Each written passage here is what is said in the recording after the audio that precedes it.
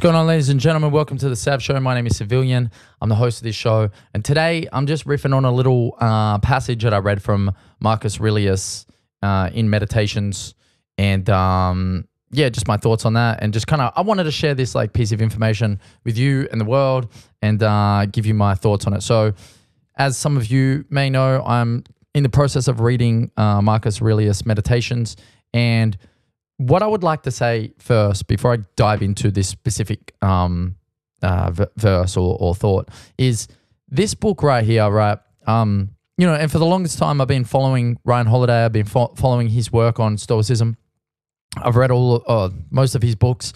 Um, I've done a bit of slight digging into Stoicism outside of his work. You know, when I went and got the Daily Stoic, um, which is you know still his work, but it's kind of more uh, reading specific pass or getting specific passages from the Stoics, and then his translation and his like uh, kind of riff on it. Um, but this is the first time, and I, and I know that he his favorite book is Meditations. But this is this is the first time that I I've actually got a book directly from the Stoics um, that's been translated, and I've I'm, I'm actually going through it uh, line by line, and you know getting it straight from the horse's mouth, as you might think, uh, as you might say. And although I don't believe um, Marcus ever would have said that, I one thing that's like there's a couple of things that are really fascinating to me is one the the the the, the imagery of his uh, way of speaking is just mind blowing. I love it as a as a as a lyricist, as a wordsmith, as a person who enjoys um, you know slick writing. I mean, this guy just had imagery for days, and and and the way that he would uh the way that he would pull ideas together was just you know fascinating to me, and um, it, it's really fun to kind of dig into it and unpack it and, and and really see the way that he paints pictures with words. So that's the first thing. The second thing is he the, the frankness in the way that he just says things is just so blunt and direct and um it's it's this paradox where it's like um on the one hand it's so fanciful and and so um, you know, so packed with the imagery and and you know this slick writing, but on the other hand, it's so like direct and blunt and you know forceful and to the point. And both of those things are beautiful individually and together. It just makes for such, I'm gonna say it, fun reading.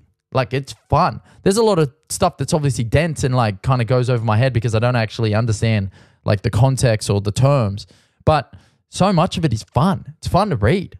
Like for real, it's fun to read because at the at the foundation of it all is language, which our entire world is made up of, and um, you know, really old, really well researched and practiced knowledge that society and humanity is is built on, and um, it's wisdom. It's old ass wisdom. That's what it is.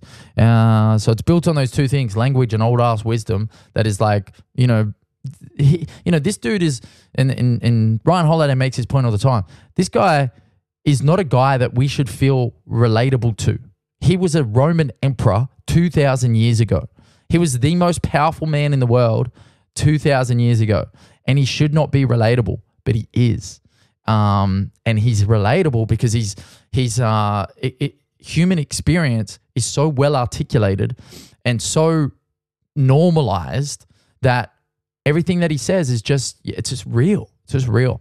Anyway, so that's that's my little riff on uh, meditations and just reading a proper actual text from the Stoics and and how much I'm just fucking frothing it.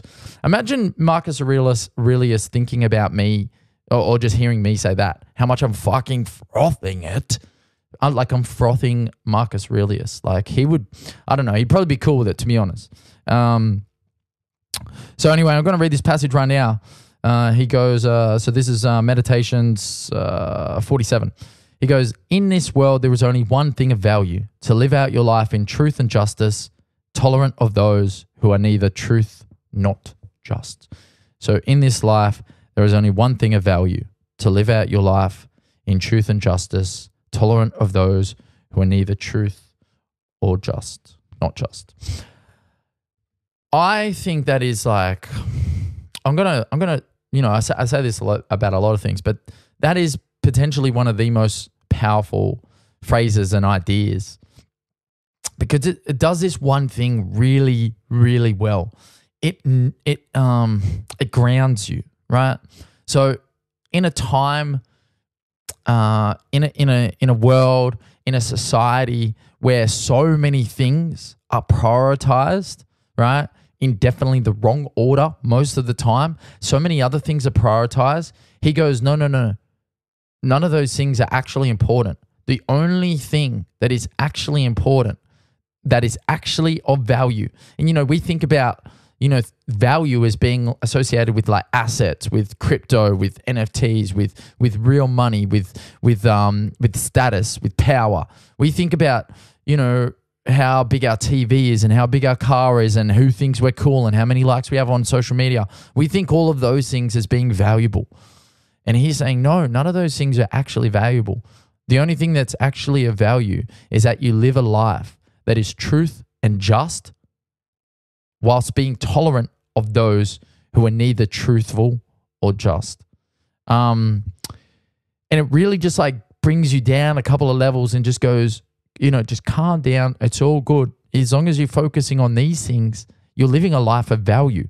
And it makes it all, it makes it all so much easier you know, like if I'm running around in my unaware kind of like uh, egoic state where I'm like, oh, I got to do this, got to do that, got to impress this person, got to impress that person, got to see this, got to see that. You know, while I'm doing all these things, I'm like losing myself a little bit. I'm losing, you know, I'm losing control of my my levels of awareness, and I'm losing control over my temperament, my emotions. I'm I feel like I need to be this and be that, and and it all gets a bit overwhelming, and it gets a bit much from time to time, and you kind of get torn apart, and you're like, oh shit, am I doing it the right way? Oh shit, reset, got to do it again. This, that, the other, and you eh, you end up being like a giant pinball.